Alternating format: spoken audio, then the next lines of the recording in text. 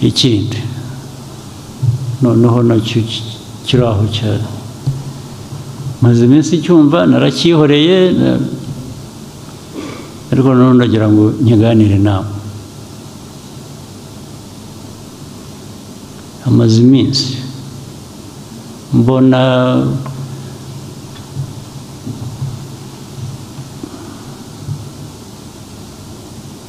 ku mbuga zikoranya amakuru ibintu bijyanye na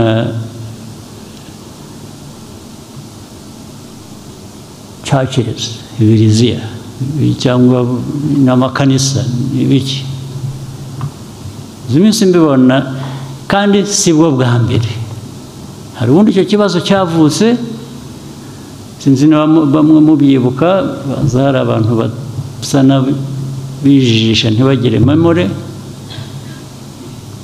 Ikintu cy'amakanisa ni iki?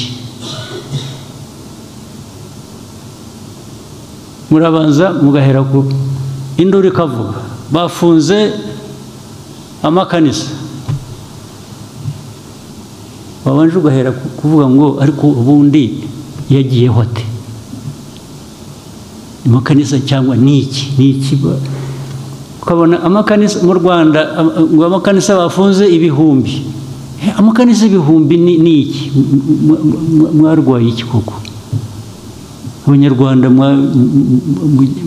ariko ngira ngo ni ibibazo byo kuba abanyafurika. Abanyafurika dufite ikibazo rwose. Imbaraga twari dukwiye kuba dukoresha gukemura ibibazo bya buri munsi bitureba bitu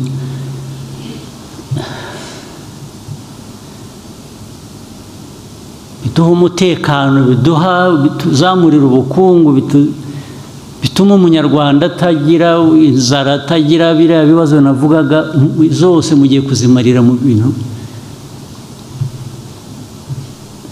Ko, twagize iki kiganiro tukakiganira bihagije ndetse bigasa nkaho um- hafashwe umwanzuro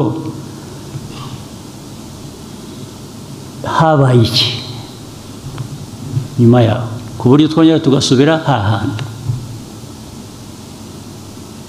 ubu koko mwebwe nk'abanyarwanda n'aba bicaye mwebwe abadepite mwicaye hano ubwanyu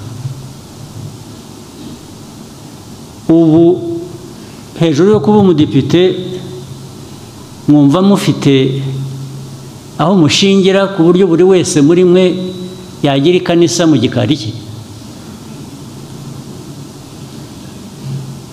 ukaba umudepite ukaba umupasitori ukagira ikanisa warangiza erega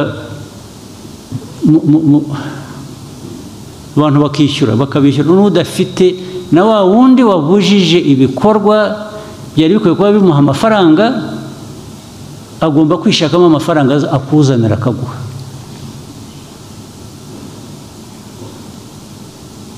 Ni ukuvuga rero abantu bavugishije ukuri ayo makanisa amwe yagiyeho kugira ngo abantu bakamure na duke abantu bafite bibonera umutungo wabo.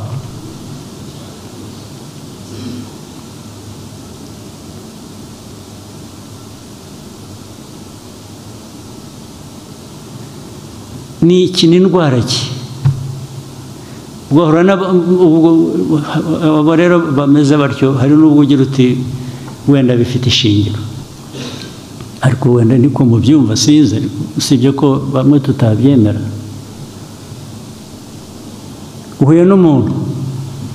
Aravuga ngo urareba nijoro nari ku musozi kanaka nabonekewe nahuye n'imana navuganye na yo. Eh.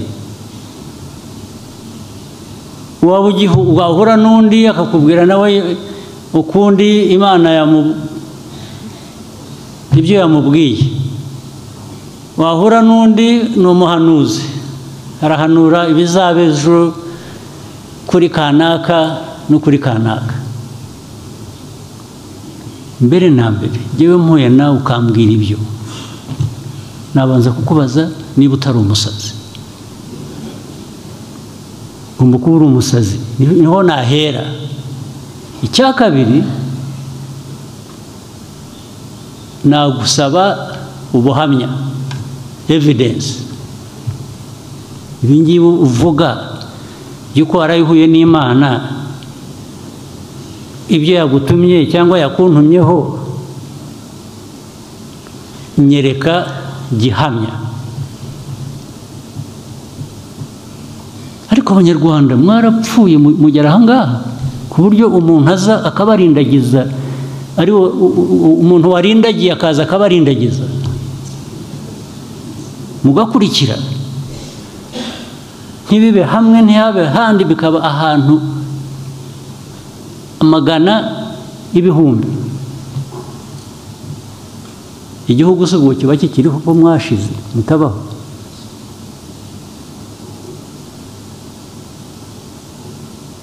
Ariko ubundi ibijya kubaho byo. Hari ibyo twari tumenyereye hari ibyo twavutse bamwe muri twe tunashaje turabisanga. Byamenyerewe abantu ibyo ntabwo nzirwa njya kubibaza. Nubwo niyo naba hari hatari ibyo nemera nta mpaka najyamo cyangwa nta rubanza najyamo ndabyihorera bikamera gutyo. Ariko ibindi by'amafuti bidusanga hano mwebwe abantu bakuze abantu bazima abantu mufite ibyo munyuzemo umuntu akaza akarindagiza igihugu cyose agafata igihugu akakigira ingwate namwe mukarindagira mugakurikira. Uwaturuze se ubwo yarakarabye wa mugani w'ikinyarwanda.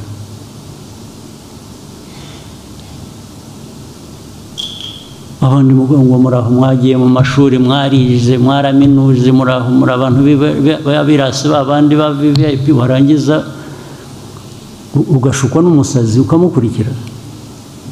Ntunamubaze utari kurantwara he ariko ahandi muranabizi hari n'abo bicaga hari n'ubwo abantu bica niba mujya mukurikira amakuru simbizi. Nko mu bindi bihugu. Umuntu umera atyo w'umusazi agatwara abantu akabatwara ahantu abantu benshi. Magana ngaya akababwira ibyo bakora akababuza kurya akababuza gufata iki akababuza kugira gute abantu bagapfa. Murabizi murabumva murabikurikira. Cyangwa n'ibyo mpimba. Byose ni byo mushaka mwebwe ni byo mushaka kubamo ibyo mushaka. Ubu muraha muhagarariye abaturage b'u rwanda barabatoye ngo mwarangiza n'ibyo murimo.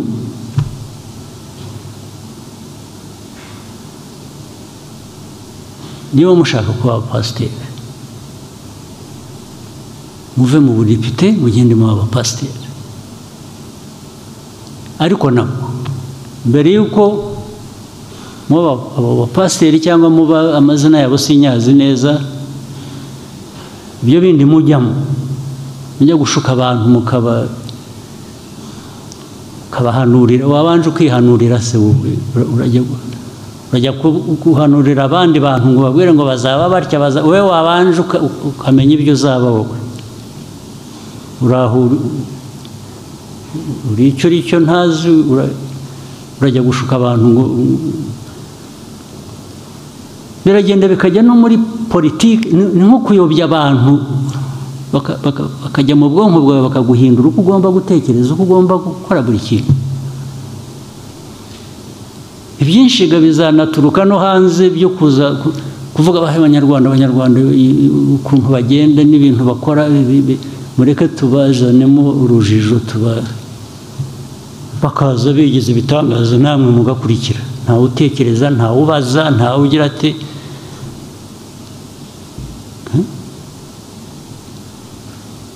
nuje hari kesi hari izindi manza nyinshi kugira ngo abashinzwe ubutabera bamwe barabizi. Hari uburyo bwinshi bwo kwica abantu bagapfa bakaremba cyangwa ukabambura ibyabo na bike bari bafite bakayobora. Hari abandi baza bakubwira ko bagiye kukugira umukire.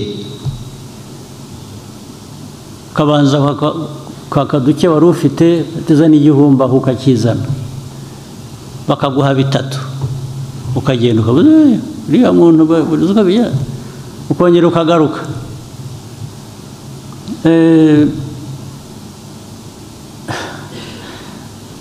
Watanze igihumbi wavanyemo bitatu bikajya kurangira bakuvanyemo makumyabiri.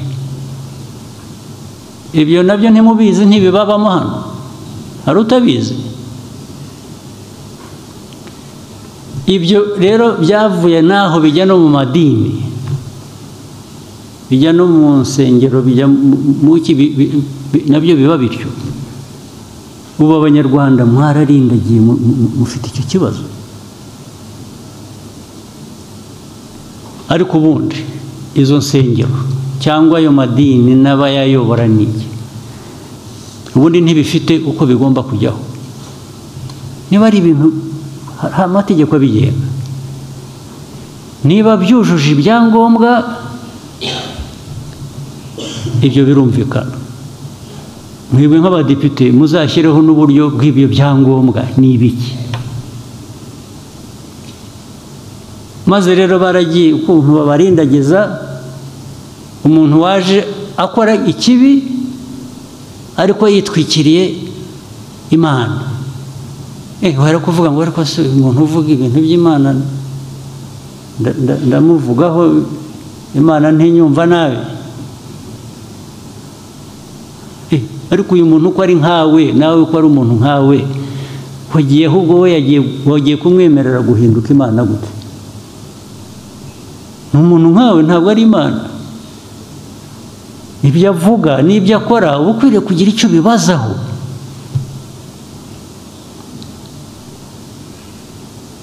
ntabwo mwese mwaba indindagizi mukaba u rwanda bakarusenya ejo mugasangaga n'ibi byose tuvuga dushaka gukora biteza igihugu imbere.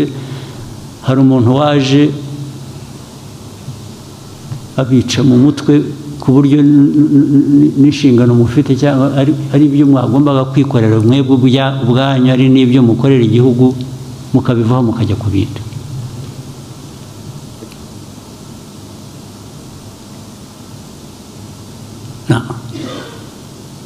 icya mbere ibyo byose mvuga hari amategeko ariho cyangwa se niba ashaka hari biri na ngombwa kuyanoza hari ibitari biriho. Muri aya mategeko muri hano n'abandi banyarwanda mushyiraho ayo mategeko atugenga tugomba kubahiriza kugira ngo tutaza kuba abantu bari aho bintuza gusa gusa bigomba kubahirizwa rero ibitubahirije amategeko ntibikwiye kubaho ubwo nabwo nabonye ku media bavuga ngo ibi bintu ariko banza perezida atabizi ibintu byo gufunga insengero ni icyaha ndabizi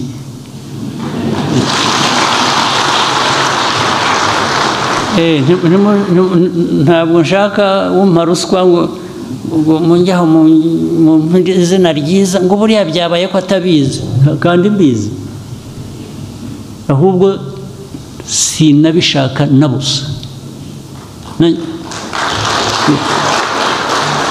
Ibintu by'akajagari aho ariho hose. Noneho niyo byaba biri mu madini. Ntabyo nshaka. Nzabirwanya rwose. Niyo mpamvu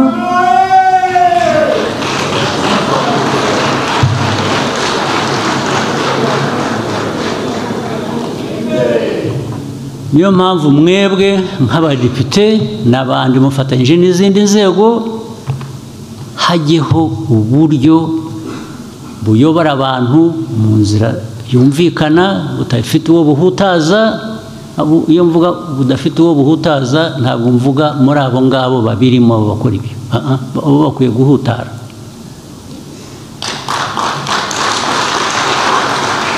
Abo mvuga badakwiye kugira icyo bahutaraho ni aba baturage mukwiye kuba muyobora abanyarwanda. Nibo mvuga.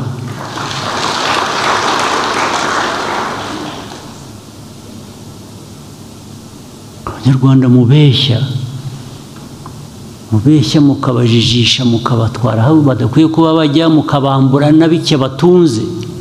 Mwebwe mukabigira ibyanyu. Bigomba guhagarara byanze bikunze.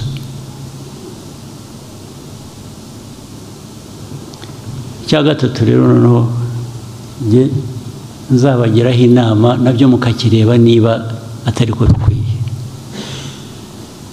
Aba bantu bateka umutwe bakanyura muri ibi by'amadini makanisa mu biki bakambura abantu ibyabo bagatwara amafaranga umutungo wabo.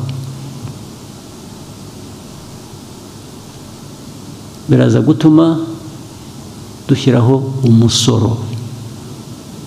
Buri muntu araza gutunga umuntu ajye asorera icyo yinjije. Waba wakinjije ku binyoma wabeshya abantu ukabatwara ibyabo igihe tutara urwo rubanza rutaraba rutaracibwa rw'uko ibyo wakoze ari ibinyoma cyangwa iki bikabanze hajyeho umusoro. Naho gukora bizinesi uyinyujije mu nsengero ngo ntawe uza ayo wiba abaturage ati nibura tuzayagabana.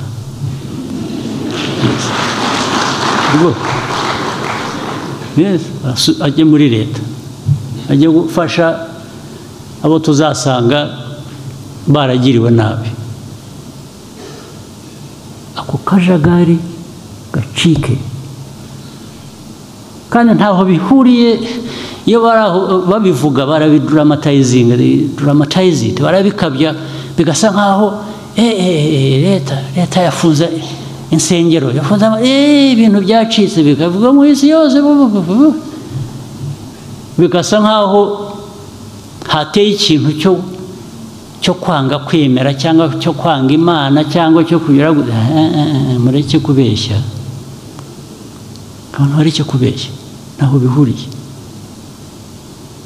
Ntabwo uzaza witwikiriye ikinyoma cy'imana ngo wice abantu abo bantu wica nabi imana. Uburenganzira si urabuvana hehe nanjye mfite uburenganzira ubwo wenda nanjye nabuhawe n'imana.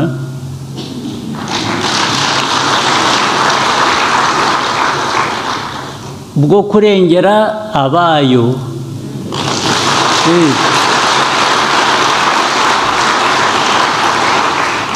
so ntabwo waza ngo untere ubwoba ngo ntandambara